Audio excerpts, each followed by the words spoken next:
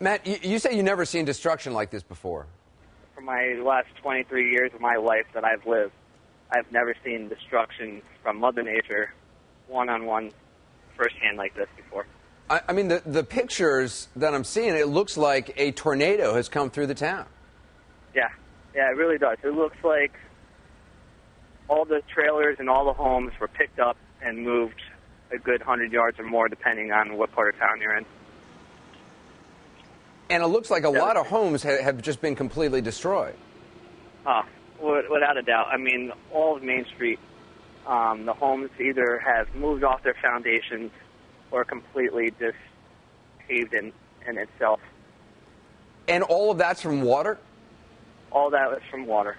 Um, we, on the news, it shows in Greene County uh, that it dumped about 13.3 inches within just a few hours. Was water coming from other places, or was it just the amount of rainfall in the town? It's because of where we are. We're in the mountains, so there was a lot of runoffs from the mountains that were coming down and, and through the streams that were running into the main creek, the Schoharie Creek that runs through our town. Um, we had another Batavia Kill Creek that comes from the Windham area down towards Prattsville, and then we also have um, the Schoharie Creek that comes from Hunter that comes down to Prattsville. So kind of all all bottlenecked right down towards our town. And you're a volunteer firefighter. You must just be now working around the clock. What kind of stuff have you been doing?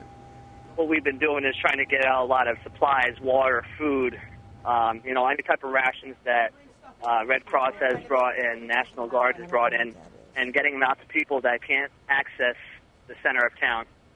Uh, we've been taking utility four wheelers and uh, other vehicles to get through certain areas and to try and cross bridges that they have deemed to be unsafe for vehicles other than emergency uh, vehicles that need to get to the other side Right now, what, what are the biggest priorities?